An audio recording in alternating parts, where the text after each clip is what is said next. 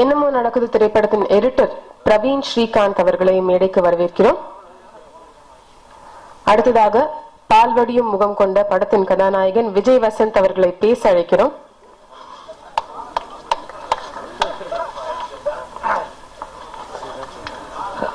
எல்லாருக்கும் வணக்கம். ரம்யா இப்பெல்லாம் பேசினாலும் எக்ஸ்ட்ரா பேமெண்ட் தான் தரமாட்டேன். ரொம்ப சந்தோஷமா இருக்கு. இந்த மேடையில வந்து Balu Mahendra sir Bharathiraja sir K sir எல்லாரும் கூட ஷேர் பண்றது வந்து ரொம்ப பெருமையா இருக்கு. ஏன்னா வந்து சினிமால நடிக்க வருமா இல்லையான்னு தெரியறதுக்கு முன்னாடி உங்க படங்கள்லாம் பார்த்து ரசிச்ச காலம் இருக்கு. ஆனா இந்த ஸ்டேஜ்ல இருக்கும்போது ரொம்ப சந்தோஷமா இருக்கு. தம்பி உடையான் படைக்கஞ்சான் அப்படின்னு சொல்லுவாங்க. உண்மையிலேயே வந்து என் தம்பி இருக்கறனால வந்து ப்ரொடக்ஷன்லாம் ரொம்ப ஈஸியா போச்சு. ஏன்னா முதல் ரெண்டு நாள் வந்து நான் எல்லாத்துலயும் இன்வால்வ் ஆகிட்டே இருந்தேன் நான். ப்ரொடக்ஷன்ல இது பண்ணணும் அது பண்ணணும் அப்படின்னு உடனே திடீர்னு வினோத் வந்து உன் வேலை என்ன? நடிக்கிறது நான் அதை மட்டும் நீ பாரு அப்படின்னு சொல்லிட்டு என்னை எதுவுமே பண்ண விடல.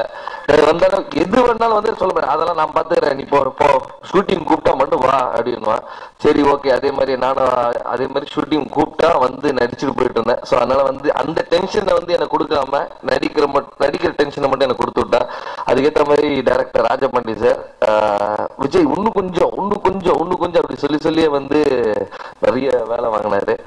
அதாவது கோவப்படுறது வந்து எனக்கு ரொம்ப கஷ்டமான விஷயம். ஆனால் இந்த படத்தில் நிறைய பண்ணியிருக்கோம். ஆஹ் அதனால வந்து இந்த கோவப்படத்தை கற்றுக் கொடுத்த ராஜபாண்டி சாருக்கு நன்றியை சொல்லிக்கிறேன்.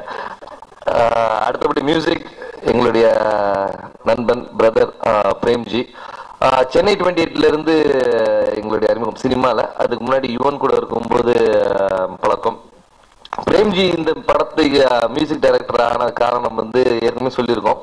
அதாவது நாங்கள் தெரியாம ஒன்று காதலிச்சிட்டுன்னு இது முன்ன ஒரு படத்துல வந்து பாட்டை முடிச்சுக்கிட்டு வந்து நாங்களும் பிரேம்ஜி எல்லாம் மீட் பண்றோம்.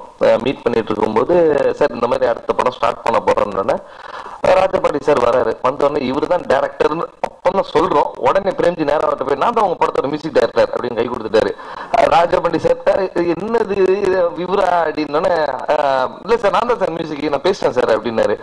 ராஜபண்டி சார் ஒன்றும் புரியல. ஆ சரிங்க அப்படின்ட்டு வந்தேன்னா பிரேம்ஜி தான் மியூசிக் நம்ம கன்ஃபார்ம் ஆயிடுச்சு அதை நாங்கள் கன்ஃபார்ம் பண்ணுற பண்ணி பிரேம்ஜியை கன்ஃபார்ம் பண்ணிட்டாரு.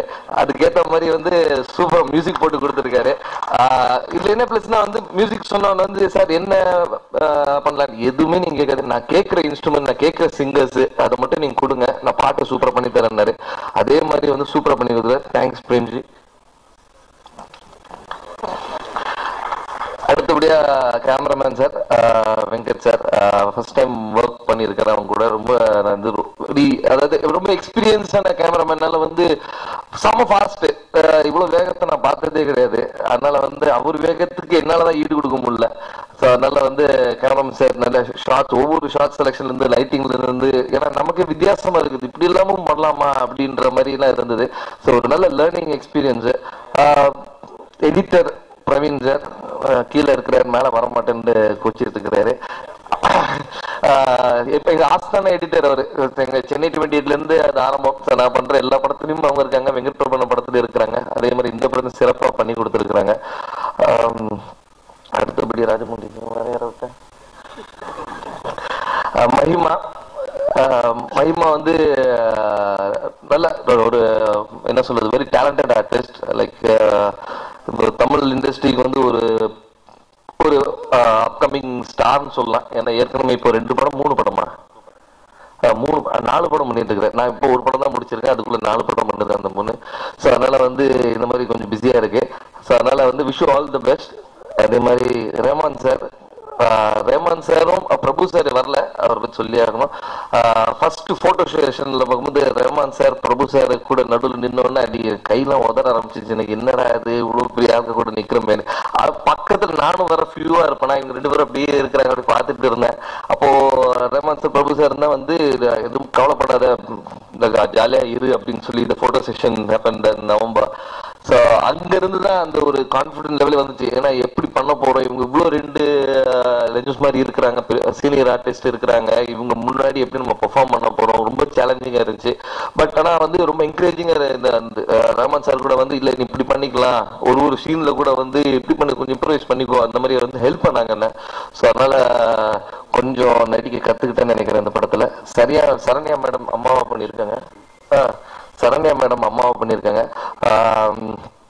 அவங்களுக்கு சொல்லி தேவையில்ல. டப்பு டப்புன்னு பின்னிட்டு போயிட்டே இருப்பாங்க. அவங்க கூட காம்பினேஷன் ஸ்டார்ஸ் வரும்போது தான் ரொம்ப சகலிங்காக இருந்துச்சு. அதுக்கப்புறம் வந்து கும்கி அஸ்வின். அஸ்வின் இந்த படத்தில் வந்து பயங்கர சண்டை காட்சியில எல்லாம் ஈடுபட்டிருக்காரு. பயங்கர ஃபைட் எல்லாம் பண்ணியிருக்காரு. ஸோ அதனால வந்து ஃபைட்னாலே பயம் அப்படின்னாரு. உடனே ஒரு ஃபைட் சீன் வந்தோன்னு அப்பா ஃபோன் பண்ணி அப்பா சண்டைலாம் போட சொல்றாங்கப்பா என்னப்பா பண்றது? அப்படின்னு ஃபோன் பண்ணி கேட்டாரு. அஹ் அதனால நீ பண்ணி தான் ஆகணும்னு சொல்லி அதனால சண்டைலாம் போட்டிருக்காரு.